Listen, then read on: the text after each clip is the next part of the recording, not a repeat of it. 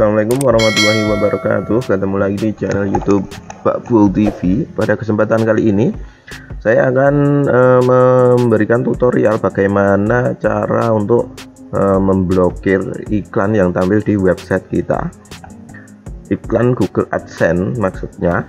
Jadi pemain Google AdSense si publisher khususnya untuk pemain website entah nanti blocking ini tersinkronasi dengan YouTube atau tidak saya kurang tahu. Karena saya hanya eh, apa ya memberikan tutorial khusus untuk iklan yang tampil di website. Saya akan memblokirnya.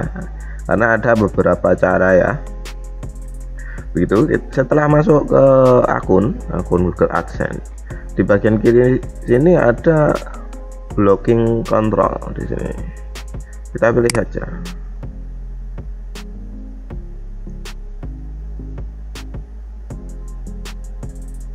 Kita tunggu. Nah di sini ada iklan yang impresinya paling banyak. Jadi ini dipisah berdasarkan impresi. Dan di sini ada pilihan yang priority prioritize for review. Misalnya kita klik ya. Kita lihat aja dulu nah, ini wajib di review seperti ini. Nah bagaimana cara memblokirnya? Kenapa kok diblokir? Karena ini ya website itu kan kadang ada yang satu tema. Misalnya tentang otomotif. Misalnya ini hanya misalnya ya. Misalnya tentang otomotif tapi kok iklannya tentang uh, itu uh, fashion dan sebagainya. Begitu ya itu bisa untuk diblokir. Nah, caranya bagaimana? Kita pilih gini ya. Ada beberapa cara caranya banyak. Untuk yang pertama caranya kita mencari manual.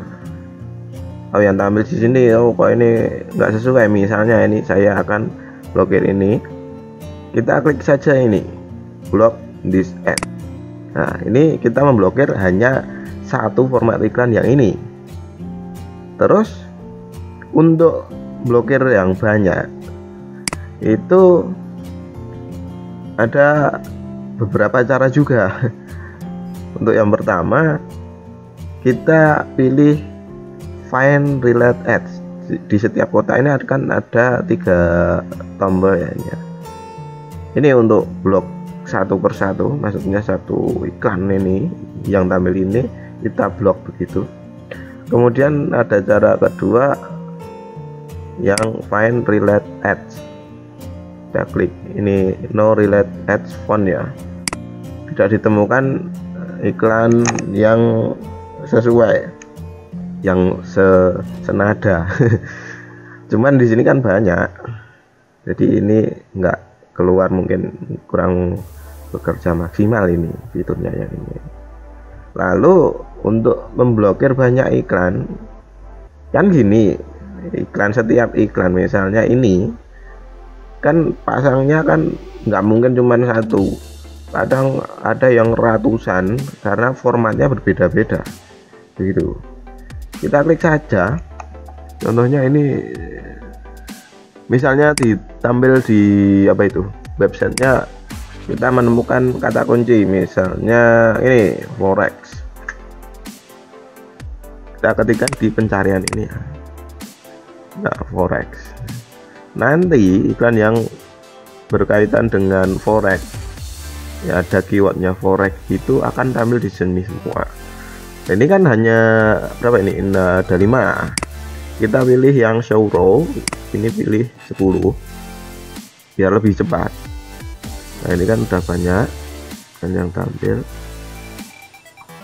Nah kita akan memblok semua iklan yang menggunakan kata forex atau yang intinya keywordnya itu. Kita klik bagian ini. Select this ad pada centang ini. Dan dan muncul seperti ini. Kita Nah, ini kan satu selected jadi hanya satu yang terpilih. Kemudian kita pilih yang select all karena kita akan menghapus semua yang berkaitan dengan kata forex. Kita block. Nah, ini sudah terblokir. cuman kan masih ada iklannya ini 1 sampai 27 dari 149 jadi kita klik lagi ke kanan kita ulangi lagi select all block nah terus lakukan begitu. Karena setiap iklan itu pasangnya hampir banyak ada yang ratusan kadang ada yang hampir seribu seribu format iklan. Select all lock. Itu seterusnya. Nah ini kan sudah selesai. Kemudian kita kembali lagi ke head review center saya akan memberikan contoh yang find relate ads tadi ya ini no ads misal saya apa ya? Eh gini. Ada nggak buat seperti ini? Ada tentunya cuman kan isinya belum tentu itu. Nah ini kan ada kita main relate add tidak ada. Ini. Nah ini ada ya. Ada yang apa? Sesuai.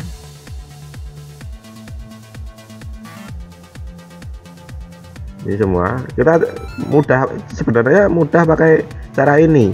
Karena kita tidak perlu menggeser menggeser semuanya akan tampil di sini di uh, relate ads dan kita klik block all nah udah semua udah terblokir sana hanya dengan satu klik aja kalau tadi kan beberapa beberapa klik ya harus mencentang kemudian select all baru block itu itu masih kita menggeser bagian bawah itu Oke, seperti itu saja uh, tutorialnya. Semoga bermanfaat. Mohon maaf jika ada salah kata.